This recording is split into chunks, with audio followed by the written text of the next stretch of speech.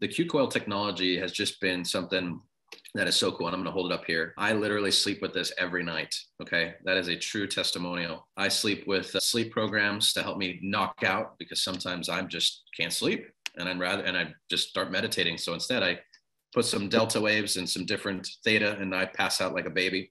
And then other times, if I want to go on a little journey, I'll put the ayahuasca frequency or the third eye expansion or the intuition or these different frequencies that are available. There's some very interesting things that happens with these frequencies. I will say that. By the way, there's a lot of programs on this thing that helps make me pretty. Okay. So that's why I'm so pretty is these frequencies, as well as happiness and altered mind states that some say is everyone's hidden superpower. I like playing with this. I like working with it. I love meditating with it. For me, it adds a new dimension, a different dimension to the work that I've been doing over the years and as well continuing to do. And this is one of the things I love is because your coils are out there right? And congratulations on the patent. That's a big freaking deal. I show people specifically how to move their consciousness down into the center point, right? The vector equilibrium or the place we call it the zero point, where from that place, they're able to access oneness, unity consciousness, God consciousness.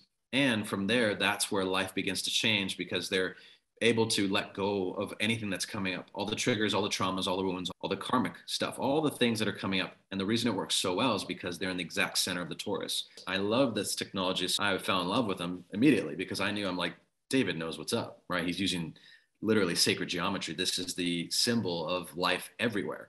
And for those who aren't familiar, just really quickly, the torus, if you actually shrink this down into one dimensions, it's the flower of life. When you were in your mother's womb, your cell division, every single thing that unfolded to make you who you are, a human, you are sacred geometry, right?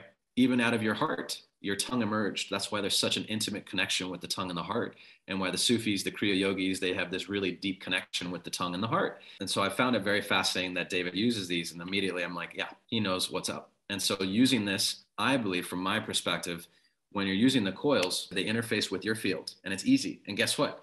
We're inter- interfacing with the Earth's electromagnetic field, which is also one of these. To see someone else that's doing beautiful healing work in the world as he is, right? To help so many people. And one of his big passions, it's not a business, it's a passion, is the Q coils and really offering frequency healing to the world.